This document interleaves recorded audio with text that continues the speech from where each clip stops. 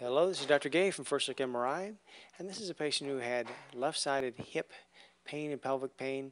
They're an athlete, they're 22 years old now, and they've had the symptoms for seven years. Finally came in to get evaluated, and we have MRI of the left hip, and uh, the left hip looks pretty good here. The right hip looks good as well. Maybe a little teeny bit of fluid in the hip, just barely discernible, but no sizable joint effusion. And one thing we noticed was the symphysis pubis. Here's the symphysis pubis. There's a primary cleft, little vertical band of fluid there centrally. Looks okay towards the front. If we get towards the middle of it, though, it looks like it's a little bit wide, and the bone around is a little bit indistinct, and maybe a little thickening of the cortex. So it looks like this may have some mild chronic mechanical shear forces. And if we go towards the posterior aspect, that's towards the front, middle, now towards the posterior aspect, we see a little band right here on this view now if we zoom the sun up, we can see a little bit better. So here's the middle, a little bit wide. And again, that bone's a little too indistinct and thick. So uh, that is uh, related to chronic mechanical shear forces. And again, if we go towards the back, we lose the symmetry. Here's the right-hand side, nice vertical. And here we're starting to see something else. And then one more cut here, we see a secondary cleft.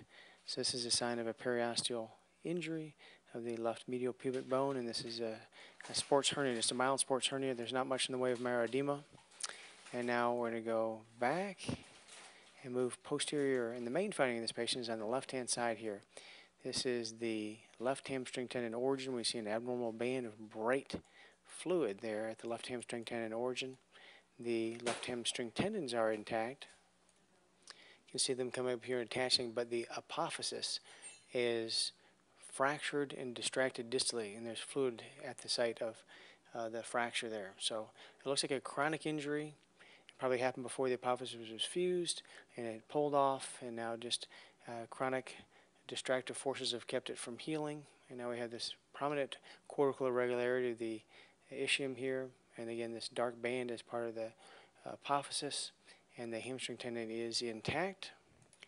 On this axial view here we can see the normal right side. You can see the hamstring tendons coming on and how nice it should look. Here on the left hand side how wide and irregular there's bony spurring. The hamstring tendons, again, are intact, but um, a little bit thickened, some chronic tendinopathy. Again, a fractured apophysis with a little bit of distraction. And that's it. So thank you very much.